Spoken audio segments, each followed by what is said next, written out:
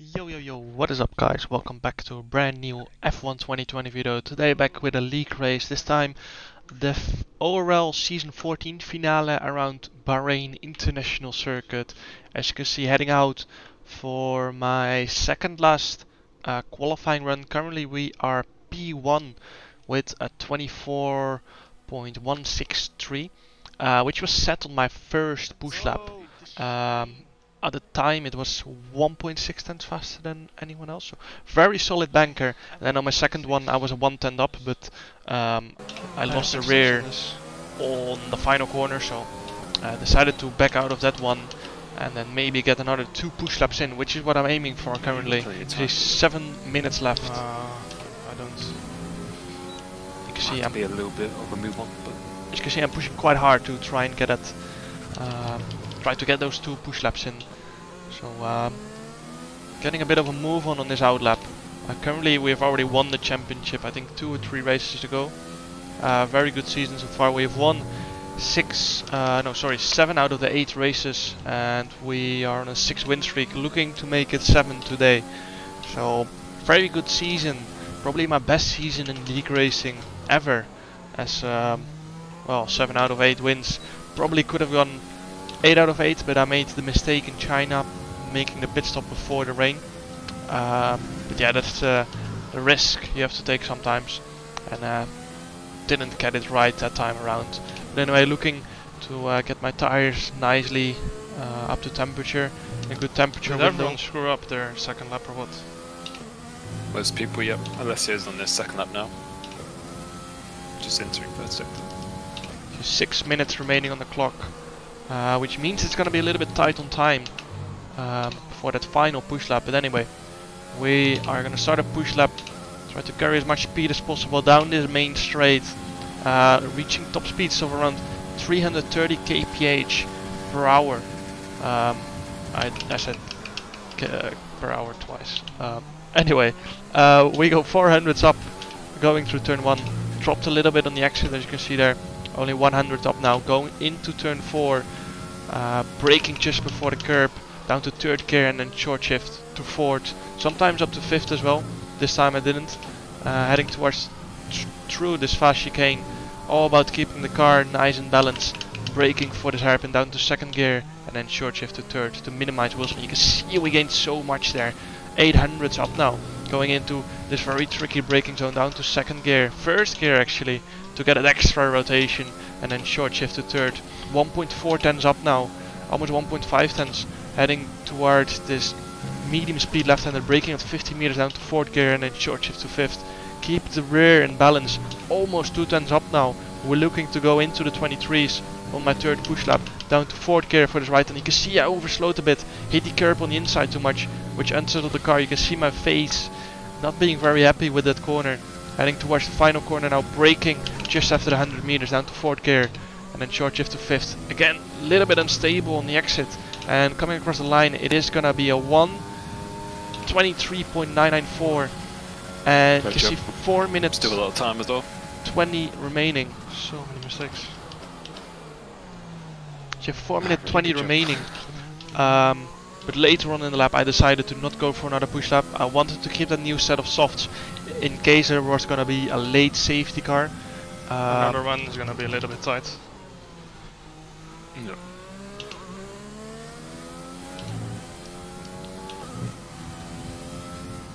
Might actually just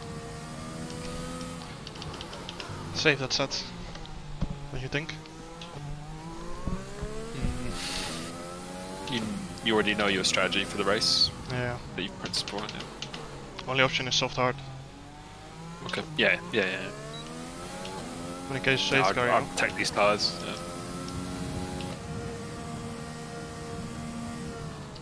So yeah, decided to go for a slow in lap and not go for another push lap in case of the late safety car. So It's uh, very tight. You need to get that. yeah, in the end I did get jumped by Alessio and Josh. Uh, didn't do the last run, so missed out on some of the track evolution, of course. Um, but anyway, track position around Bahrain, especially the first stint, is not that important. Um, so I was I rather save that set uh, in case of a late safety car, um, so I can have a little bit more of a fresh set of softs uh, in case Look it at does that come battle out. for P11. Beautiful. Felipe missed out by 300. Lol. So yeah, also some people aiming for the alternate strategy, trying to qualify in P11. How's the Um, championship going? I already won it three rounds ago. So yeah, it's gonna be interesting uh, what the alternate strategies runners are gonna do. Uh, I would say the best is starting on hards and then going to mediums. But um, yeah, uh, we're gonna start on softs and then try to extend that soft stint as long as possible. So we're not in risk of a puncture in the last few laps. Um, as you guys saw in my last Monza video, a lot of people got punctures. Uh, as we all tried to basically do the wall race on hards after a first lap safety car. But um, yeah, let's see uh, how it goes on those softs. Um, so uh, let's head into the race. So lining up on the grid now behind Josh Idowu and Alessio Di Capua. We're ahead of Alvaro Carreton and Ben Sabo. Everyone in the top 10 on the softs. It's five red lights and away we go. Initially it seems like we lacked a bit on the initial start. The initial getaway you can see Alvaro pulling next to us going into turn 1 Alessio moves to the left, so I can't go for that gap.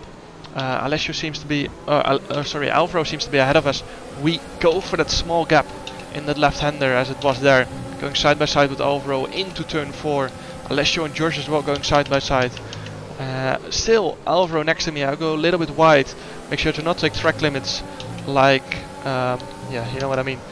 Um, going through the fast chicane, we managed to hold on to P3, and wasn't sure if Alessio was going to go or Alvaro was going to go for it in that right hand hairpin, but we managed to stay at. Um, and straight away I want to save my tires. You can see brake wise up to 52, as I want to save the rears from lap 1 onwards, so we can stretch those softs as long as possible, uh, which is my main aim at the moment. So I'm going to use my ERS to stay within uh, the DRS of Alessio, and at the same time save my rear tires, especially as Bahrain is so hard on the rear tires. So really need to save those in this first few laps. And uh, at the same time stay within DRS of course, don't want to lose too much track position. Uh, some people might go for the undercut, but um, they will be at risk um, of a puncture nearing the end of the race. So we now move on to towards the end of lap 9. Uh, absolutely nothing happened, all I was doing was I saving think tires. they're both gonna have to pit this up, otherwise they could get a puncture. I will continue on. my. Um, quite a lot of people are already gone for the undercut. Patrick Crouch pitting at the end of lap 7, Ben Sabo pitting at the end of lap 8. Uh, I think Patrick Sipos as well, as you can see, He's on 80%. both Alessio and George dive into the pits. We faked it, so not sure if we I'm on 69. uh, pulled Nice. Alessio into the pits there. But I decided to go for one lap longer. We're the only soft runner left at the Close to moment. Uh, Joni Tormala 1.5 seconds behind, but this is the time where I'm gonna push as hard as possible, so we can minimize the damage. You can see rears are non-existent at this point. Um, fifth gear wheel spin coming out of turn two. So yeah, let, let's see uh, how much Joni is gonna gain on us on this lap. You see 56 brake bias to keep the car in balance. Uh, I, I can't really put any steering lock on, and as instantly the, the rear would snap, you can literally feel that there's no uh, been rear rubber left. quite heavily. So as you can hear JD say there, Alessio and Josh got undercut Some quite of these heavily, Won't make the finish anyway. Nope. but By yeah, the people Patrick that went for the undercut uh, are gonna struggle really towards the end uh, with a risk of puncture. You can see 74% on the rear left. Um, only soft runner remaining. You can see Yoni only gained two tenths so far on this lap. So we're doing a pretty solid job as this medium should be a lot faster at this point. You see through this right hander, rear wants to step out, we keep it in balance nicely. Beware pit entry. So yeah, through that long right hander we did lose two tenths instantly, but you can see 76% on the rear left. Coming into the pits now. Um, gonna put on the hards so we can go to the towards the end of the race. Um, gotta make sure I slow down. You can see Joni Tormala just got a penalty there. Oh, great job. So- You'll probably come out behind Carreton at last, but Yep. you're that's tired at the end. Yeah, but you'll be in a Crouch, Patrick, and Sabo are holding them up quite a lot. So So yeah, we are estimating that I will come out in P20, that last, which should Oh, be a net DRS P8, are quite P9, Fast in laps. so- uh, if I remember Yep, correctly. yep. Crouch is the leading, uh, or net leader at the moment, coming out. We are not gonna come out last, we actually P17, So a lot better than expected. Very good outlap. Never You see, I barely lost time that to Alessio um, on my in lap. Uh, we've lost half a second. So very, very solid So in lap. Um, as Alvaro, I basically gained time on Alvaro. Uh, might have been hauled a little bit in the pits, uh, but still, that's why we stayed out that extra lap as well to have better tires and also not get held, as no one was be able to go that extra lap longer apart from us. But currently, we are in net P7, so we've been undercut by four people. Um, at the same time, we will uh, get that back uh, towards the end of the race. They're gonna struggle on those tires a little bit more than everyone else, as Crouch is on Crouch, I think Patrick Sipos are both on three lap all the tires. So um, yeah, they're gonna struggle towards the end of the race on those tires. But now we just need to get past Jesus zones, will undercut us as well, and uh, yeah, basically get back into uh, net P6. So yeah, also at the same time we need to be aware of the alternate strategy runner Jakey Benham uh, on the hards, starting in P11, which is perfect for the alternate strategy. Uh, I think he's uh, a net P2 of the alternate strategy runners, Joni Tormala leading, who has the There's penalty of zone guys course. still need to pit. No, he's pitted already. So yeah, Shizuzone's already made a pit stop and now we're gonna go down the inside in turn 1. He's not gonna defend. I think he's trying to uh, drive his own race a little bit more. Probably realizing that 3 lap all the tires, he's not gonna keep that position forever. So around the outside in turn 2 we go. And now we're back behind Alessio. Um, still want to be a little bit careful on my tires in those first few laps, uh, so we can really uh, pull the pin uh, in the last 10 laps, I would say, and not have to worry about tire wear at all after that point. So yeah, now I'm gonna try and hunt down Alessio and uh, see if we can get past. Now moving on to the end of lap 19, you can see the wall top 6 train, net P6 train, has stayed the same. So uh, Josh struggling to get past uh, the people ahead of him, the top 3 basically. As now I'm gonna turn on my overtake button. Sixty percent. As JD tells me the ERS levels of Alessio, I'm gonna go for it. You can see I keep the overtake button on. Going into turn 1. I'm gonna brake slightly later, down the inside we go. He moves a little bit under braking. Can you just We touch. But we managed to get past into P5 now. A little bit of contact made, no harm done, no one got damaged. So now gonna hunt down Josh, who's only half a second ahead of me. Um, ben Sabo still P3 and Patrick Crouch on 3 lap all the tires, then uh, both Josh and me still in the lead, so he's doing a very solid job. But the question now is, are those tires gonna drop off? That's gonna be very interesting. As Josh goes a little bit wide, um, I want to recharge my ERS a little bit uh, at this point. So um, not gonna attack Josh straight away, but if Josh is gonna take too long uh, with passing Ben Sabo, Eighty percent ERS. then I will have to make the move. Because otherwise we are out of contention for the win. Uh, Josh at 80% ERS, so 20% more than us. We have to somehow turn that around and push him into using ERS. I pulled the pin at this point and just decided to use uh, all the extra tires I have to try and get myself up to the front. You can see we're still on plus 2.3 laps of fuel. I didn't expect to be in this much traffic, so I can't run in rich mix as much. You can see backhand stepping out, coming out of the last corner. Um, so I can't run Rich because I will just simply overheat the engine. Uh, as Josh goes down the inside of Ben Sabo into turn 1. He overshoots a little bit, almost hit Crouch as Patrick Sipos has gone into the lead now. Josh tries to go around the outside but can't Yeah, make was it work there surely. Oh, I don't have DRS. as I briefly dropped out of uh, DRS as Josh used a lot of ERS um, on that lap so uh, probably Josh down now to 40% Josh down he to forty percent. yeah actually uh, perfect uh, uh, prediction from myself there um, as Josh tried to go for the move so used a lot of ERS and didn't gain any track position. So soon we're gonna have to make the move on George ourselves if he doesn't make it work. Probably Bence also used a lot to defend from George on that lap. Um, but yeah we have the tire advantage at this point so Fifty percent. we should be able to get past on tire advantage as well. So still P5 Who's in the Red Bull? Uh, CGR, CRG Patrick.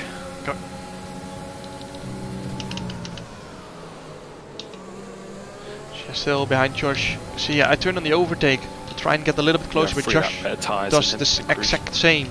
Yeah. Um, so we can maybe have a look at Ben Sabo again into turn one. But yeah, it's not looking very good for us at the moment as we're P5 with 7 laps to go. on the exit. Uh, Josh is 48% coming out of the last corner. He's going to turn on the overtake Why again. is he You not can going see for it? I don't get it. um, going It's into turn 30 one now. now. I was having a little look.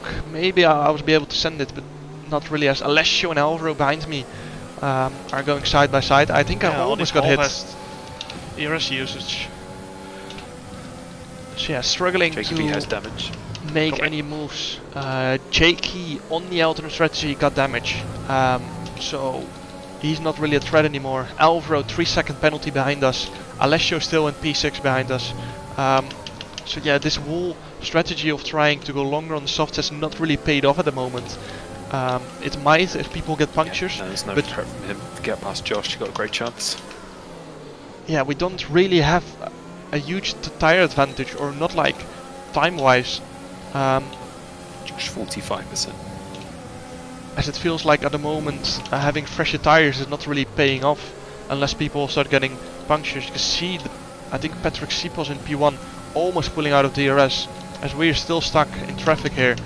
So now behind Josh, um, only 2.8 tenths behind him. I'm gonna turn on the overtake button. He does the same, I think so. Um, but we did it slightly longer, 40%. hence why we got slightly more momentum going into the last corner. You can see now we're almost on his gearbox. As we're gonna turn on the overtake button again. I think Josh does the same as he does obviously, or he obviously wants to defend from me. I'm his biggest threat at the moment. So going into turn one, Josh goes down the outside. I decide very late to go down the inside. It's a little bit of a touch. Um, again, no damage done. So uh, luckily, no damage. As you see my engine overheating really badly, I pull out of the slipstream. Uh, as you can hear JD say there, 20% ERS for Josh. So we have a major ERS advantage, but my engine is overheating obviously. So gonna cool it through this middle sector. You can see it running lean through this whole middle sector. I have way too much fuel, but at the, at the moment the engine temperature is quite a bit more important. So gonna turn it briefly up to rich to get that um, traction. Short shift to 7th to cool the engine a little bit more. Josh goes a little bit wide again, probably feeling the pressure going into the double He's left-hander. 47, 48 rear. Yeah, uh, Josh 48% on the rear left, tire wear wise. Tire wear we're looking obviously very good. We're not gonna be under uh, threat of a puncture. Uh, JKB now with the fastest lap behind us in P7. Um, on those mediums, obviously has wing damage, but has He's the 30% advantage. ERS. And I think Now JK got uh, damage I think one or two laps ago. So don't think we're really gonna be under threat from him. As now coming out of the final corner, we know we have more uh, ERS than Josh, so we're gonna go for it. I decided to turn it off actually.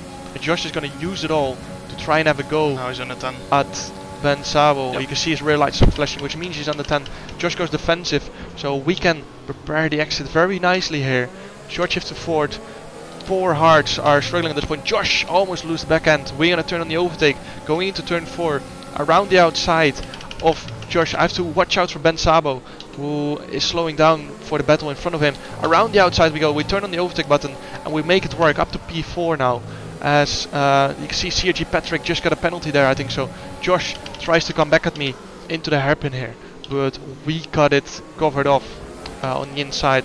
So up to P4 we go. We have only five laps remaining, so gonna be very tricky to make up four or three positions in uh, five laps. We have to make the moves fast. We only have 46% ERS remaining. Um, depending on what the others have, it's gonna be a very tough fight. So um, yeah, let's see how easily we can make uh, the move on Ben Sabo. Uh, Patrick still pretty decent lead after that battle into turn four. Um, we,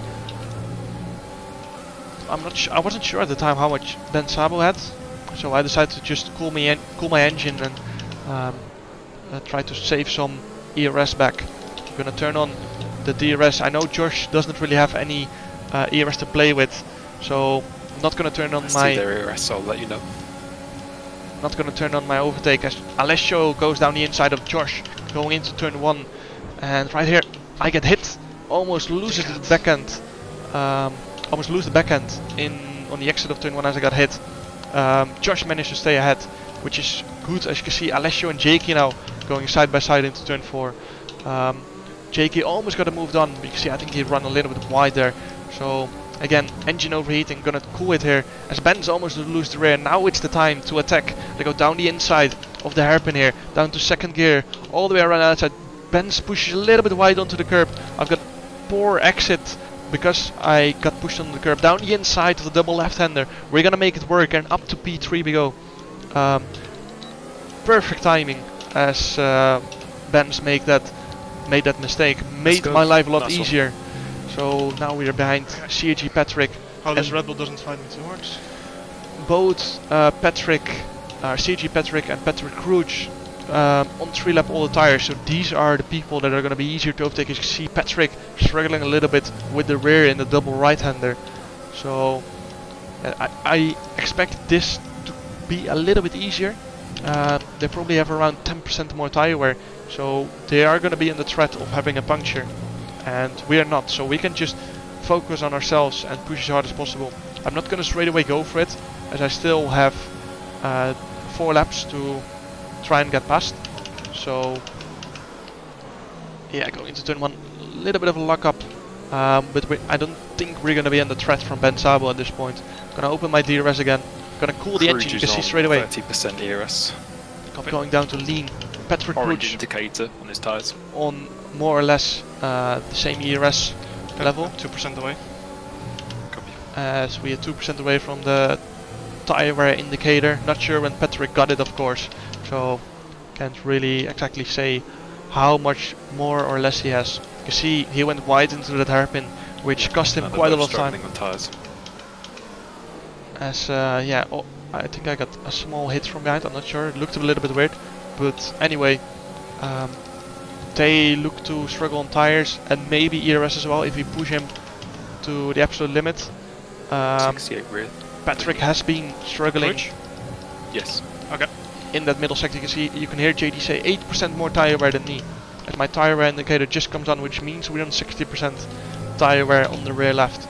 We're not going to be under threat from uh, a puncture, but Patrick is He's on 25% ERS as well.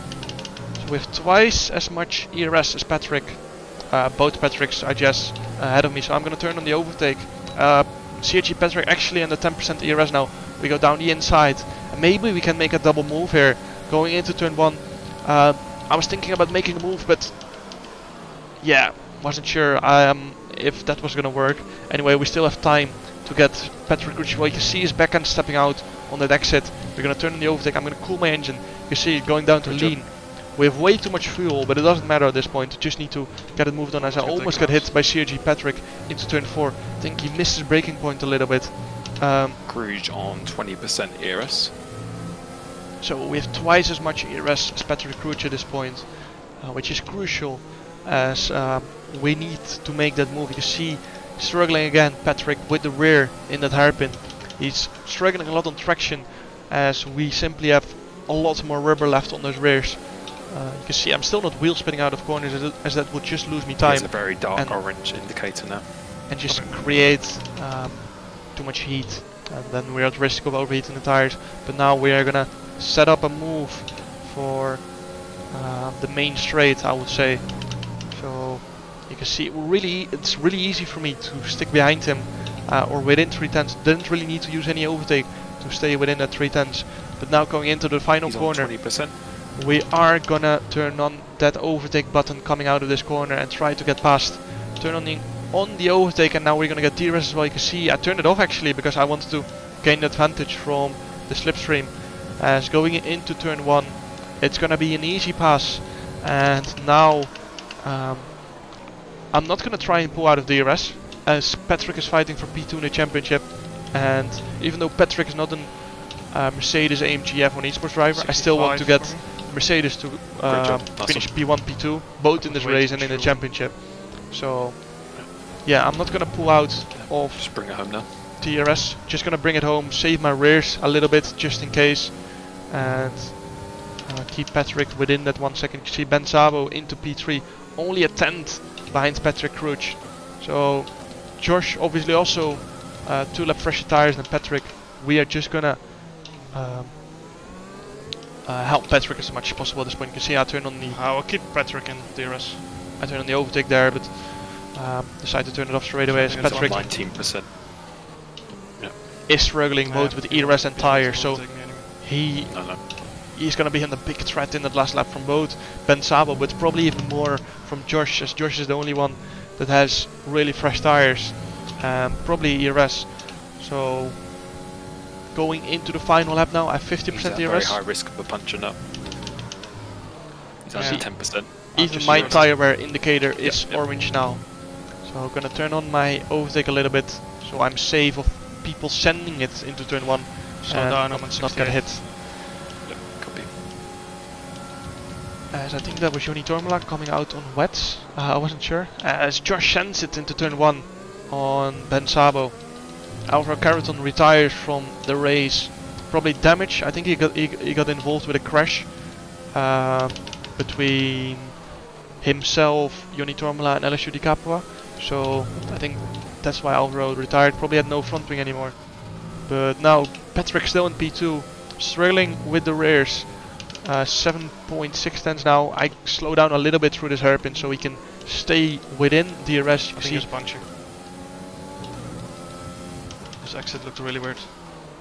No, not on his screen at the moment. So yeah, final DRS over Patrick now. Nothing I can do anymore. Just gonna push uh, so he doesn't have any dirty air. You can see three tenths. Uh, oh, sorry, that was a little bit of a bug. I'll push a little Um, bit in the last sector. So yeah, I'm gonna turn on the overtake now. Try and uh, extend the gap so Patrick doesn't have any dirty air on that last lap. And coming out of the second last corner, gonna turn on my overtake button again and pull a little bit of a gap. Puncture, I think. Uh, No, he doesn't. No, no, no. No, he doesn't. So yeah, George and Patrick going side by side into the last corner, but Patrick ah, he's managed to it. Let's to P2 and we finish Let's one go. two. Seventh Shit, win in a row. one. Good shit, man. Oh, I'm one. sweating. Nah, good shit. Awesome drive. Grazie, ragazzi. So it's my seventh win in a row. Um, eight out of nine race wins and a 1-2 for Mercedes in both this race and in the championship. So great way to finish of the online racing league season 14 season. Um, so yeah, just very happy to get my seventh win in a row after qualifying only P3 in the um, uh, in the final race. So um, very solid result. Um, so yeah, just very happy uh, about the finale of ORL. Um, hope you guys enjoyed. Make sure to like and subscribe if you want to see more. And uh, see you guys next time. Um, uh, there is a little bit of a break uh, for league racing as next one is in nine days for PSGL around France. So it's gonna take a while for my next league race. So uh, at least I will have time to prepare very well for that. Um, we're still in the championship fights for PSGL, even though we've missed five rounds. So um, that's the aim for now. And um, see you guys next time.